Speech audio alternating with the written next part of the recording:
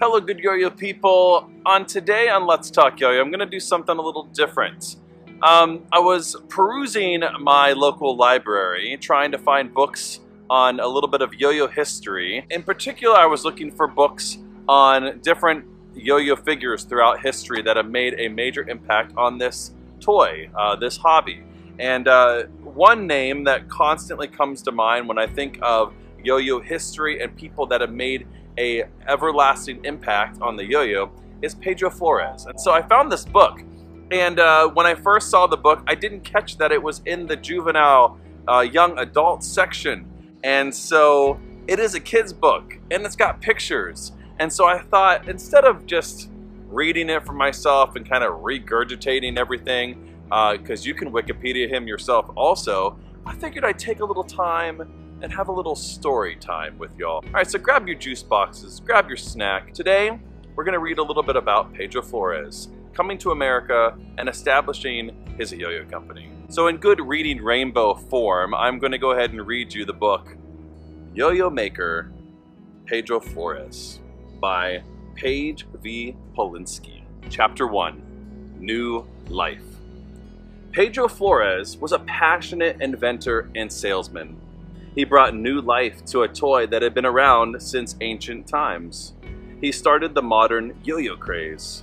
Pedro Edralin Flores was born on April 26, 1899 in the Philippines. He grew up in Vintar, a town in the Ilocos Norte province. Little is known about Pedro's family or early life. The early 1900s were a difficult time in Pedro's homeland. The United States had just won the Spanish-American War. Before the war, Spain had ruled the Philippines. As part of the treaty, it gave the Philippines to the United States. But many Filipinos were tired of being ruled by another country. So, in 1899, a war began between the Philippines and the United States. The Philippine-American War lasted three years. The United States won in 1902 and kept control of the Philippines. This brought changes to Pedro's hometown. It was annexed by the city of Bacarra for several years, only to break ties in 1908. Young Pedro's life continued to change. In 1915, he moved to the United States at the age of 16.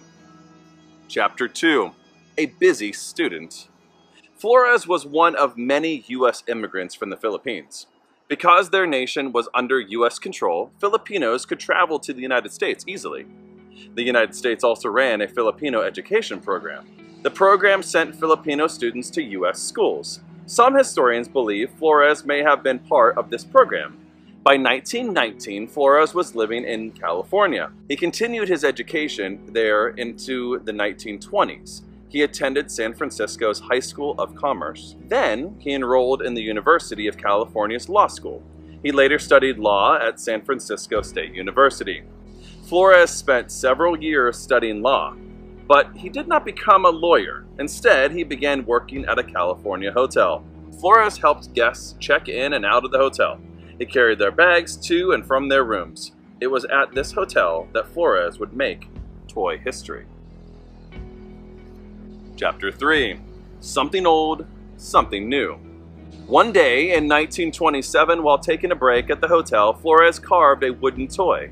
It was made of simple round discs attached to a string.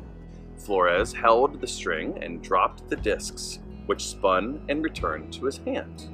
This toy was nothing new. In fact, it was a very popular toy known as a yo-yo back in the Philippines. But something about the toy he carved sparked the fascination of onlookers at the hotel.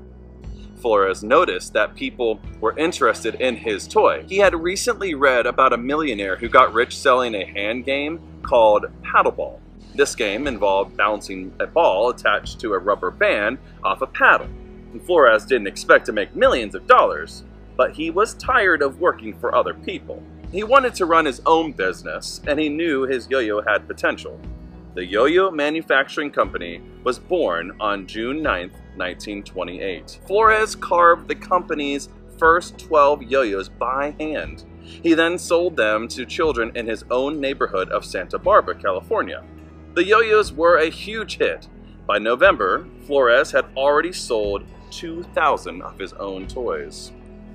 Chapter 4 Ancient Success It was no surprise that Flores's yo-yo became so popular. It is one of the oldest toys in the world. The first recorded yo-yos were made as early as 500 BCE. That's before the Common Era. Ancient Grecian urns show people playing with discs made of clay, wood, or metal. These discs were often painted with colorful images. A string was attached to their center.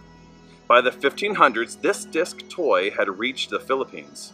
There it was named yo-yo, meaning come, come, in the native language. Filipino children carved their own yo-yos out of wood and bamboo, but they made a major improvement to the toy. Instead of fixing the string to the disc's center, they looped the string around it. This let the disc spin at the end of the string. The yo-yo continued its journey to France in the 1700s and then Great Britain. It was a popular toy among British royalty. In the 1860s, the toy entered the United States. Inventors James Haven and Charles Hettrick received the toy's first U.S. patent in 1866. Other U.S. inventors tried to improve the yo-yo design, but the toy never became very popular. It would take Pedro Flores to kickstart the US yo-yo craze. Alright boys and girls, that's going to do it for part one of Yo-Yo Maker, Pedro Flores. And as usual, good day and good yo-yo.